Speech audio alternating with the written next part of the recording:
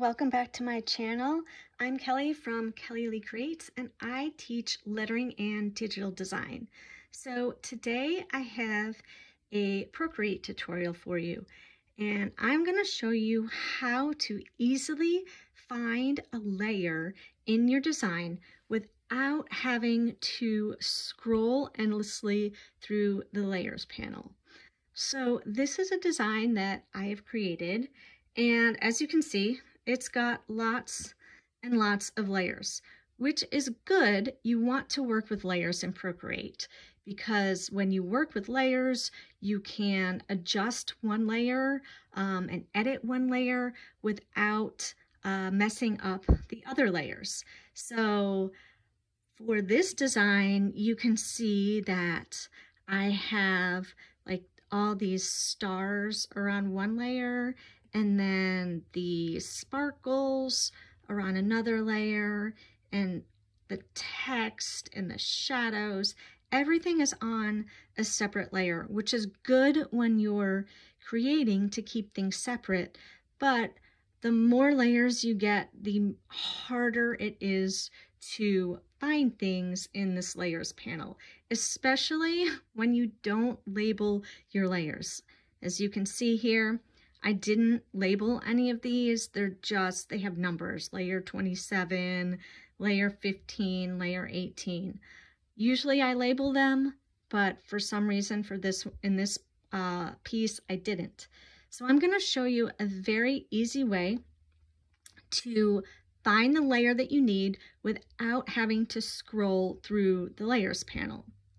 So say I wanted to edit the layer with the stars here say I wanted to add a star or erase a star or just move things around. All I need to do is tap one of the stars.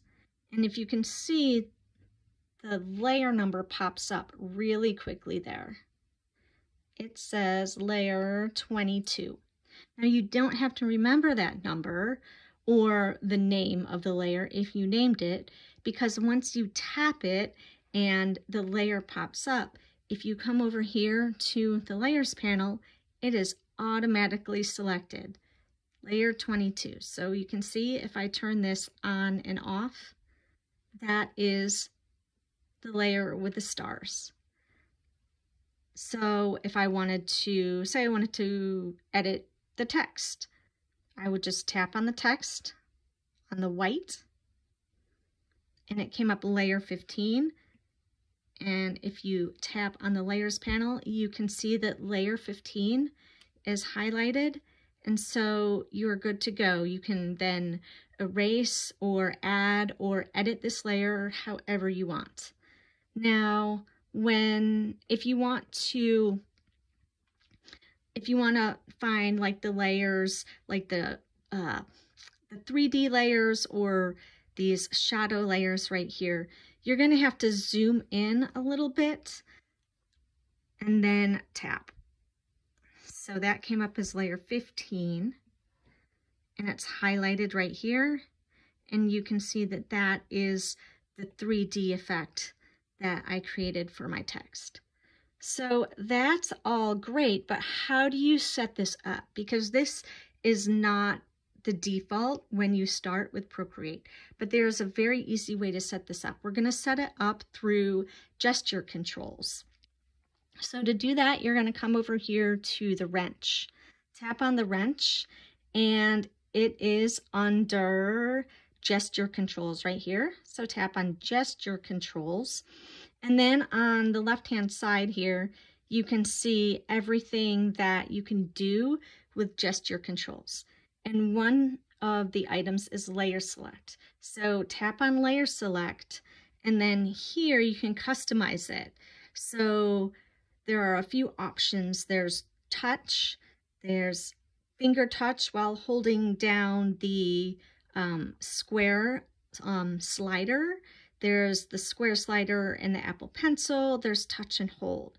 So I, you can choose whatever you want, but I found that the easiest way is touch.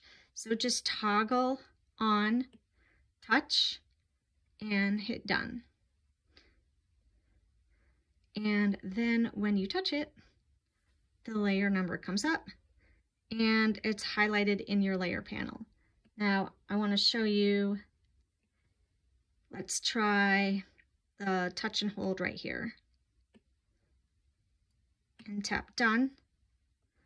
And I'm going to do it with the stars again. So I'm just going to touch this, but I'm going to hold it for a minute. And you can see there that the layer number pops up. It says layer 22. And it is selected in your layers panel.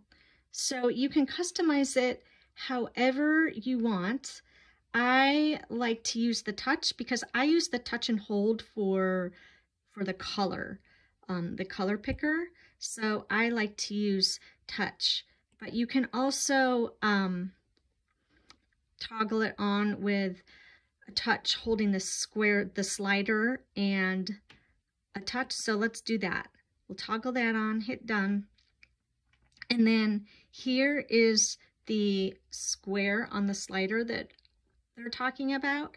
So it's you hold down this and touch a portion of your design and layer 22 which is the stars.